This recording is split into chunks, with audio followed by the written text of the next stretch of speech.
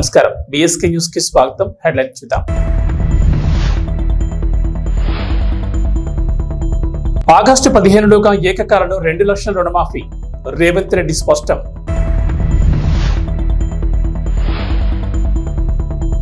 CM Jagan పై దాడి కేసులో కొనసాగుతున్న విచారణ.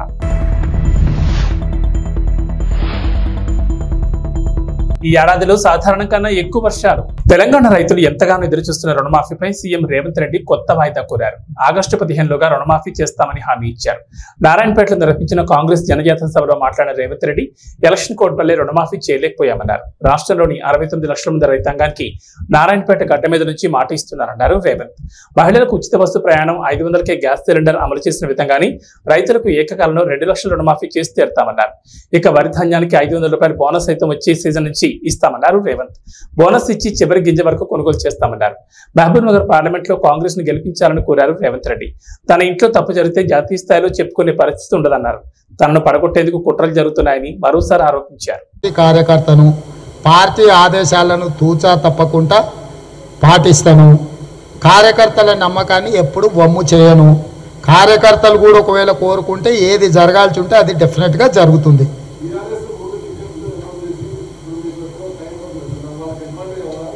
ఏముండదు అవన్నీ ఉత్తర పత్రాలు వర్షం పడకముందే నువ్వు దుక్కి దున్నావు అనుకో. ఈ సన్నాసులే కదా ఎమ్మెల్యేలు. కొత్తగా ఉంది. మాస్క్ వేసుకుంటారా? ముసుగు వేసుకుంటారా? ఏం చేసుకుంటారు? ఏముండదు. ఇవి ఇప్పుడు వీళ్ళే కదా. గత తొమ్మిదేళ్ళ నుంచి దాదాపుగా ఈ ఈ సద్ది మొక్కలే కదా ఉన్నాయి. ఈ సద్ది మొక్కలు మళ్ళీ కొత్తగా ప్లాస్టిక్ సర్జరీ చేయించుకుంటారా? ఏంది వాళ్ళ మొక్కలు తెలుసు కదా. ముఖ్యమంత్రి వైఎస్ జగన్మోహన్ రెడ్డిపై శనివారం రాత్రి విజయవాడలో జరిగిన రాళ్ళ దాడి ఘటన రాజకీయ ప్రకంపనలు రేపుతోంది. ఈ ఘటనపై పోలీసులు దర్యాప్తును వేగవంతం చేశారు. ఆధారాలను సేకరించేందుకు క్లూస్ టీం రంగంలోకి దిగింది. అజిత్ సింగ్ నగర్లోని వివేకానంద స్కూల్ దగ్గర ఈ దాడి జరగడంతో స్కూల్ బిల్డింగ్ పై నుంచి రాళ్ళు రుబ్బినట్లు పోలీసులు ప్రాథమికంగా నిర్ధారించినట్లు తెలుస్తోంది. ఈ మేరకు ఘటనా స్థలానికి క్షుణ్ణంగా పరిశీలించి ఆ ప్రాంతంలో అమర్చిన సీసీటీవీ ఫుటేజ్లను తనిఖీ చేస్తున్నారు. డ్రోన్ల ద్వారా దాడి జరిగిన ప్రదేశాన్ని ఏరియల్ సర్వే నిర్వహించారు. దీని ద్వారా ఆధారాలను సేకరించే ప్రయత్నం చేస్తున్నారు. మనం సేకరించిన సమాచారం ప్రకారం డెఫినెట్గా ఒక రాయి అనేది ఒక వ్యక్తి బలంగా విసరడం జరిగింది.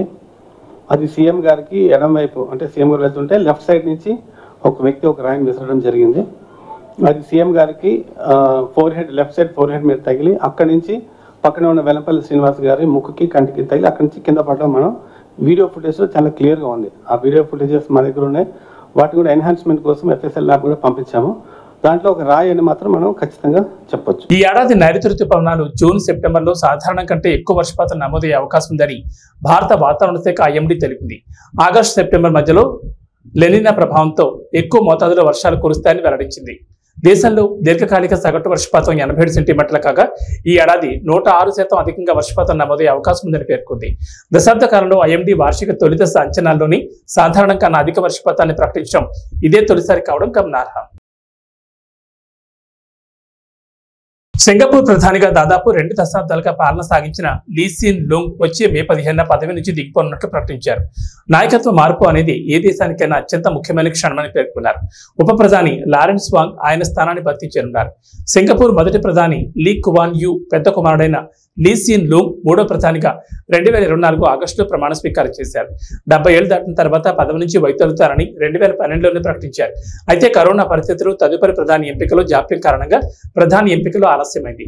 పాలక పక్షమైన పీపుల్స్ యాక్షన్ పార్టీ రాజకీయ వారసత్వంలో భాగంగా ఇదివరకటి ఉప ప్రధాని హెంగ్స్వి కిట్ తదుపరి పీఎం కావాల్సింది. అయితే తన వయసును కారణంగా చెబుతూ రెండు వేల ఇరవై ఒకటిలో ఆయన వైదొలిగారు. ఆఫ్ఘనిస్తాన్లో మూడు రోజులుగా కురుస్తున్న భారీ వర్షాల వల్ల తీవ్ర నష్టం వాటిల్లింది. ఆకస్మికంగా సంభవించిన ఈ వర్షాల వల్ల పలు ఘటనలో ముప్పై మూడు మంది మృతి చెందగా మరో ఇరవై ఏడు మంది తీవ్రంగా గాయపడినట్లు తాలిబాన్ ప్రతినిధి అబ్దుల్లా జనన్ సైక్ వెల్లడించారు. రాజధాని కాబూల్తో పాటు పలు ప్రావిన్స్లను ఆకస్మిక వరదలు ముంచెత్తాయని తెలిపారు. దాదాపు రెండు వందల పశువులు చనిపోగా ఆరు వందలకు పైగా ఇళ్ళు ధ్వంసమయ్యని చెప్పారు. అలాగే వరదల కారణంగా దాదాపు ఎనిమిది వందల హెక్టార్ల వ్యవసాయ భూమి ఎనభై ఐదు కిలోమీటర్ల కంటే ఎక్కువ రోడ్లు దెబ్బతిన్నాయి. పశ్చిమ ఫరా హెరాత్ దక్షిణ జబుల్ కాందహార్ ప్రావిన్స్లో అత్యధికంగా నష్టం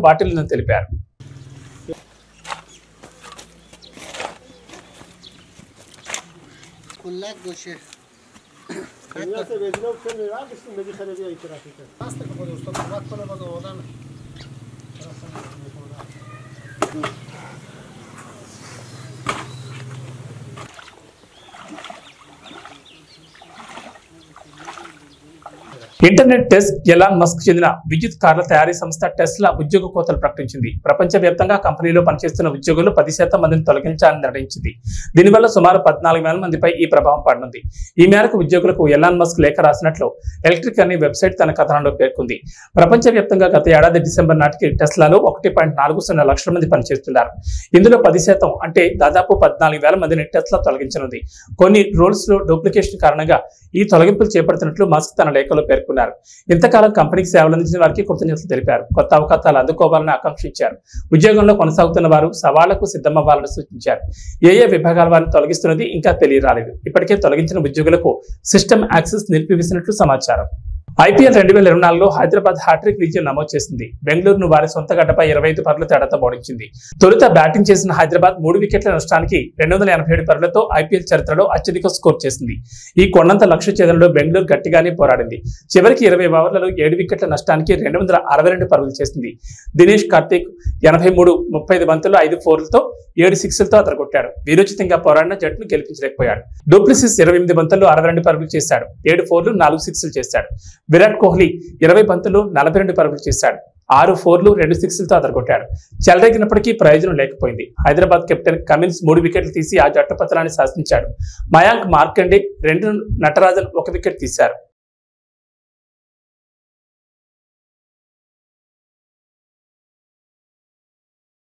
విమానం ఎక్కాలనేది చాలా మంది కళ చిన్నతనం నుంచి ఆకాశంలో విమానం వెళ్తుంటే భూమిపైన చూస్తూ ఎప్పటికైనా విమానంలో ఎక్కి ప్రయాణించాలని ఎంతో మంది ఊహల్లో విహరిస్తూ ఉంటారు. ఒకప్పుడు ధనికులు సంపన్నులకు మాత్రమే ఎక్కే అవకాశం ఉండే విమానాలు కొద్ది కొద్దిగా మధ్యతరగతి ప్రజలకు కూడా అందుబాటులోకి వస్తున్నాయి. ఇక నూట యాభై రూపాయలకే విమాన టికెట్ ఇస్తున్నారంటే పేదలు కూడా ఎక్కేందుకు ఎగబడతారు. విమానం ఎక్కాలని కోరిక ఉన్నవారు డబ్బులు లేకుండా ఎలాగోలా పోగేస్తారు. నూట యాభైకి విమానం టికెట్ ఏంటి అని ఆశ్చర్యపోతున్నారా? సామాన్యులు కూడా విమాన ప్రయాణాన్ని అందుబాటులోకి తీసుకురావాలని కేంద్ర ప్రభుత్వం నిర్ణయించింది. ఇందులో భాగంగానే అనేక చర్యలు చేపట్టింది. దేశంలోని చిన్న చిన్న నగరాలకు కూడా విమానాలు నడిపి వాటిని సామాన్య ప్రజలకు కూడా ఫ్లైట్ ఎక్కించాలని కేంద్రం రకరకాల పథకాలను ప్రారంభించింది. ఈ నేపథ్యంలోనే దేశంలోని కొన్ని రూట్లలో కొన్ని విమానయాన సంస్థలు అతి తక్కువ ధరకే విమానాలు నడుపుతున్నాయి. ఈ నేపథ్యంలోని అలియన్స్ ఎయిర్లైన్స్ నూట యాభైకే విమాన టికెట్ అందుబాటులోకి తీసుకొచ్చింది. అస్సాంలోని లీలాబారి నుంచి తేజ్పూర్ నగరాల మధ్య అలియన్స్ ఎయిర్లైన్స్ కేవలం నూట యాభై రూపాయలకే అందిస్తోంది. లీలాబారి నుంచి తేజ్పూర్ నగరాల మధ్య నూట ఎనభై ఆరు కిలోమీటర్ల దూరం ఉంది.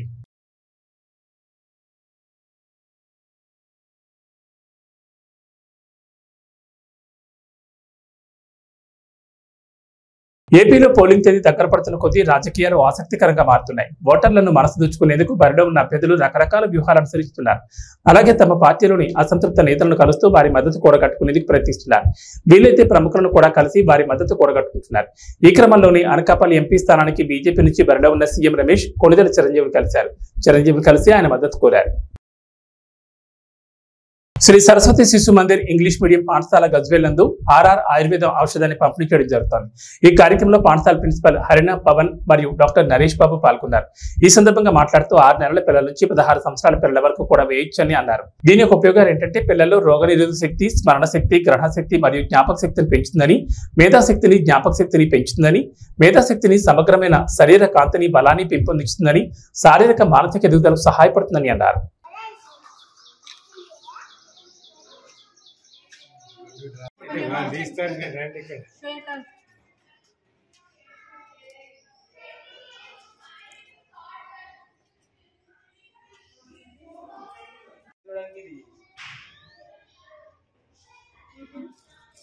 నీకనేసరికి వందలేదురా నువ్వు చిన్నగా తెలుగు పెద్ద దర్శసక్క భయపడుతున్నాడు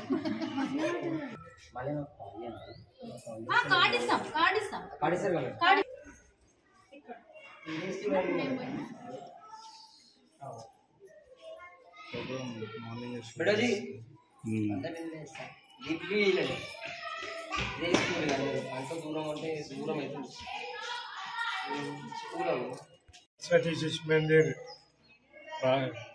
పాఠశాల లోపల పిల్లల కోసం మెదక్ నుంచి ఆర్ఆర్ స్వర్ణామృత రాసిన వాళ్ళు ఒక దివ్యమైన ఔషధం పంపించడం జరిగింది.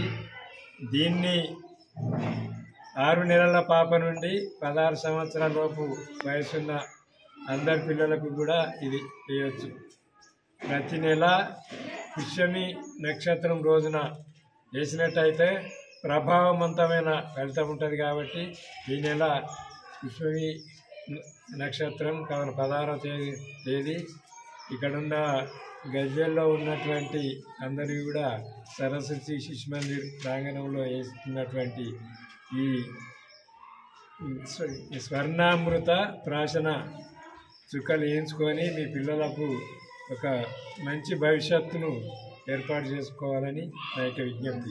ఎందుకంటే దీన్ని మనక సేవించినట్టయితే క్రానిక్ డిసీజ్ అటు ఏదైతే ఇరిటేబిలిటీ కానీ హైపర్ యాక్టివిటీ తర్వాత ఆర్టిజం దాంతోపాటు జ్ఞాపక శక్తి పెరుగుతుంది.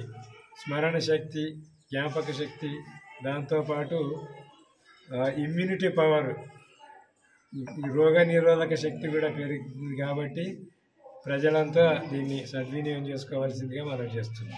శిశు మందిర్ గజ్వెల్ ఇంగ్లీష్ మీడియం పాఠశాలలో ఈరోజు ఆర్ఆర్ స్వర్ణామృతము అనేటువంటి దివ్య ఔషధాన్ని మనం పంపిణీ చేయడం జరుగుతుంది. దీని యొక్క ప్రతిఫలం అంటే ప్రభావం ఎలా ఉంటుంది అంటే కరోనా లాంటి విపత్తులు వచ్చినప్పుడు హ్యూమినిటీ కోసం మనము తాపత్రయపడాల్సిన అవసరం లేకుండా ఇప్పటి నుండే భావి భారత పౌరులైనటువంటి ఈ చిన్నారుల యొక్క ఆరోగ్యాన్ని సంరక్షించడానికి ఈ ఔషధం చాలా ఉపయోగపడుతుంది. అంతేకాకుండా హైపర్ యాక్టివిటీ తర్వాత పిల్లలలో స్మరణ శక్తి ధారణ శక్తి జ్ఞాపక శక్తి పెంచడానికి అంటే ఏదైనా సరే వాళ్ళు గుర్తుపెట్టుకున్నట్టుగా ఎవరు గుర్తుపెట్టుకోలేరు. అలాంటి పిల్లలలో కూడా డిసీజెస్ వస్తున్నాయి ఈ పొల్యూషన్ వల్ల. వాటిని అన్నింటినీ తట్టుకొని ఈ పిల్లలు బంగారు భవిష్యత్తులో వాళ్ళు ఉన్నత స్థాయికి చేరాలి అంటే ఈ రెండు చుక్కలు చాలా ఉపయోగపడతాయి. దీనివల్ల సైడ్ ఎఫెక్ట్స్ ఎలాంటివి ఉండవు. కేవలం అంటే నైంటీ పర్సెంట్ మంచి చేస్తుంది మంచి చేయకపోయినా ఏ పిల్లలకి దీనివల్ల చెడైతే జరగదు కాబట్టి తల్లిదండ్రులు గుండె మీద చేయి వేసుకొని ధైర్యంగా ఈ రెండు చుక్కల్ని వేయించవచ్చు పోలియో చుక్కలు ఎంత ముఖ్యమో ఈ స్వర్ణామృతం చుక్కలు కూడా అంతే ముఖ్యం.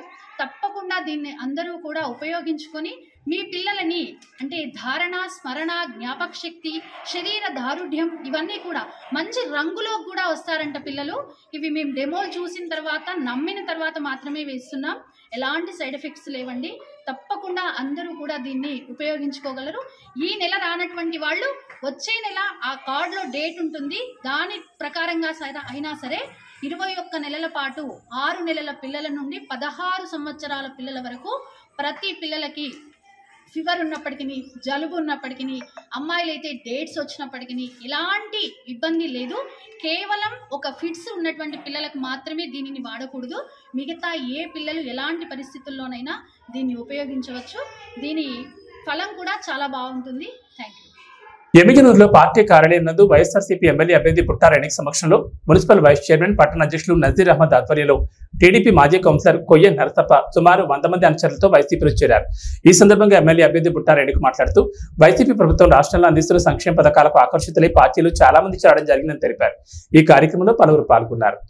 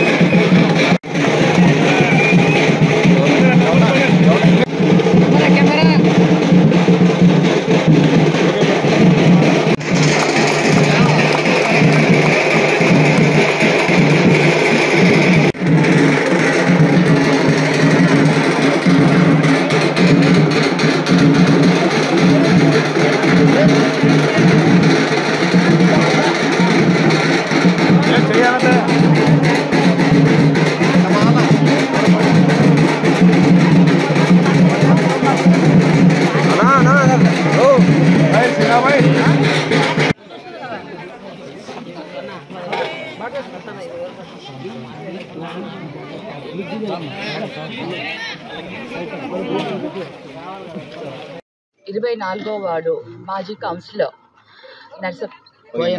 ఆ, బోయ నర్సప్ప కోయ, గారు- కోయ. నర్సప్ప గారు ఈరోజు వారి బృందంతో వచ్చి ఇక్కడ జాయిన్ అవ్వడం జరిగింది మరి ఈరోజు మా అందరి సమక్షంలో నజీర్ గారు మరి రుద్రగౌడ్ అన్న కార్పొరేషన్ చైర్మన్ మీ అందరికీ తెలుసు అన్న మీ అందరూ ఈ సమక్షంలో ఇవాళ ఏదైతే జగనన్న చేస్తున్న సంక్షేమ పథకాలు ఉన్నాయో ఆ సంక్షేమ పథకాలకు ఈరోజు మహిళలు అందరూ కూడా పెద్ద ఎత్తున ఆనందం వ్యక్తం చేస్తున్నారు. వారికి మళ్ళీ జగనన్న ప్రభుత్వమే కావాలంటున్నారు. ఇలాంటి లీడర్స్ కూడా అందరూ కూడా ముందుకు వస్తున్నారు. బికాజ్ జగనన్న ప్రభుత్వంలో జరిగే సంక్షేమ పథకాలు కానివ్వండి మంచి పనులు కానివ్వండి అభివృద్ధి కానివ్వండి ఎటువంటి వివక్షత లేకుండా ఎటువంటి డిఫరెన్సెస్ లేకుండా ఇవాళ ఒక రూలింగ్ అంటూ జగనన్న చేసిన ఈ ఐదు సంవత్సరాల పరిపాలనకు అందరూ కూడా హర్షం వ్యక్తం చేస్తూ ఈరోజు వైసీపీలో జాయిన్ అవుతున్నారు అంటే అర్థం చేసుకోండి. ఇవాళ మార్నింగ్ నుంచి పొద్దున్న నుంచి ఎంతో మంది చాలా మంది టీడీపీ నుంచి వైసీపీలోకి వాళ్ళ మా ఆధ్వర్యంలో జాయిన్ అవ్వడం జరిగింది. సో ఇది ఒక మంచి శుభ పరి పరిణామం. మరి మరి ఇంకా ప్రజలందరూ కూడా మేము వెళ్తున్నప్పుడు కూడా ఎక్కడికక్కడ హర్షం వ్యక్తం చేస్తున్నారు. ఇవన్నీ కూడా జగనన్న చేస్తున్న పరిపాలనకు ఇవన్నీ ఒక నిదర్శనం. ఇవన్నీ కూడా ఇదంతా కూడా మాకు కూడా చాలా ఆనందంగా ఉంది. క్యాండిడేట్స్గా కర్నూలు జిల్లా డోన్ మండలంలోని ఉడుమలపాడు గ్రామంలో ఎన్నికల ప్రచారంలో భాగంగా జనసేన పార్టీ కార్యాలయాన్ని కోట్ల జయసూరి ప్రకాష్ రెడ్డి చేతుల మీదుగా రిబ్బన్ కట్ చేసి ప్రారంభించారు. ఈ కార్యక్రమంలో కోట్ల గ్రామ సర్పంచ్ రాధమ్మ ప్రచారంలో పాల్గొన్నారు. రాబోయే ఎన్నికల్లో తెలుగుదేశం పార్టీకి ఓట్లు వేసి గెలిపించాలని కోరారు.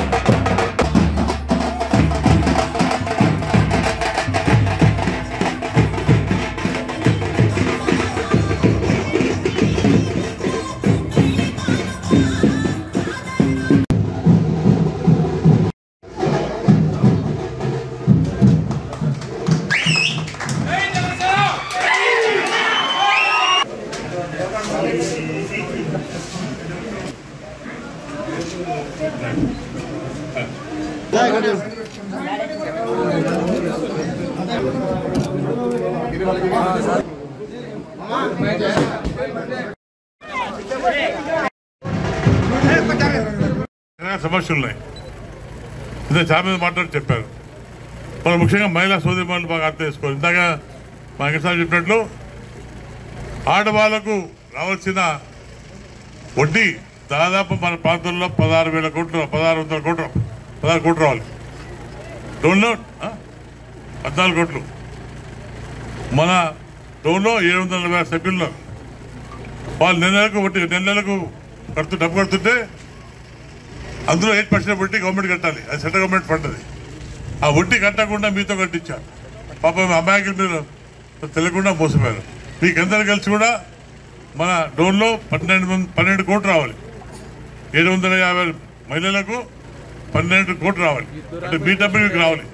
ఎంత దగాండిది ఎంత అన్యాయం ఇది? రేస్ రాష్ట్ర మొత్తం మీద ఏడు వేల రెండు వందల కోట్లు కొట్టేశాడు ఈయన.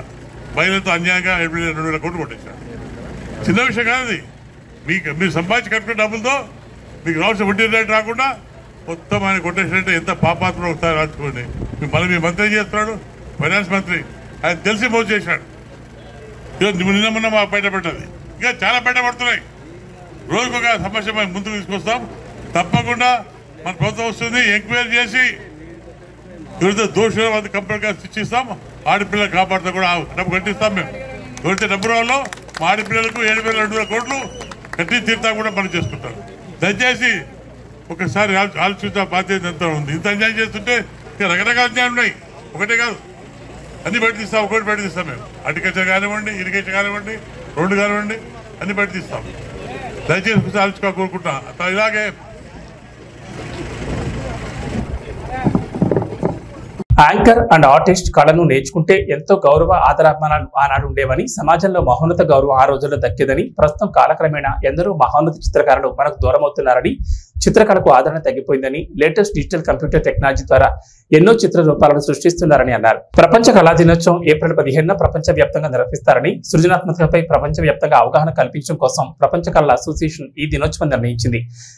ఇటలీకి చెందిన చిత్రకారుడు లియోనార్డో డావిన్సీ గౌరవార్థం ఆయన పుట్టినరోజైన ఏప్రిల్ పదిహేనున ప్రపంచ కళా దినోత్సవంగా ప్రకటించారని పశ్చిమ గోదావరి జిల్లా Bhimavaram painter and artist association అధ్యక్షుడు పరిమి రామకృష్ణ అన్నారు. ఏప్రిల్ పదిహేనున ప్రపంచ కళా దినోత్సవం సందర్భంగా మీడియాతో మాట్లాడుతూ ముందుగా చిత్ర కళాకారులను ఆదరించే ప్రతి ఒక్కరికి అభినందనలు తెలిపారు. ప్రస్తుతం ఎంతో మంది మహోన్నతమైన కళాకారులు ఉన్నారని వారి జీవన ఉపాధి లేక ఆర్థిక ఇబ్బందులతో జీవనం సాగిస్తున్నారని చిత్ర కళాకారులను ఆర్టిస్ట్ కార్మికులను ప్రభుత్వం ఆదుకోవాలని కోరారు. చిత్ర కళాకారులను ఆర్టిస్ట్ కన్మరుగు కాకుండా ప్రభుత్వాలు ముందుకొచ్చి జీవనోపాధి కల్పించాలని ఆవేదన వ్యక్తం చేశారు. నా ఊపిరినంత కాలం పెయింటర్స్ అండ్ ఆర్టిస్ట్ అసోసియేషన్ సమస్యలను ప్రభుత్వం దృష్టికి తీసుకెళ్ళి తగు న్యాయం కోసం పోరాడతారని పరిమి రామకృష్ణ అన్నారు.